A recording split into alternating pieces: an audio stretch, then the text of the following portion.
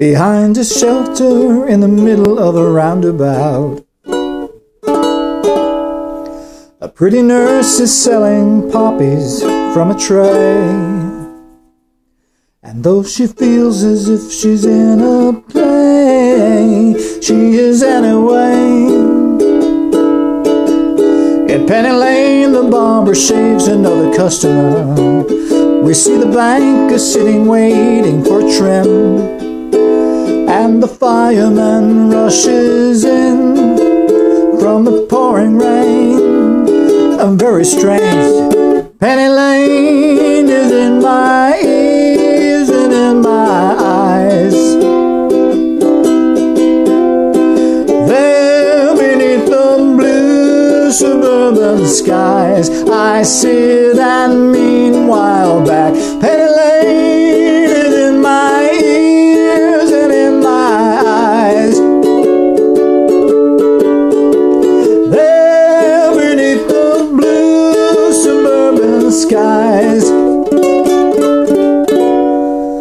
Penny Lane.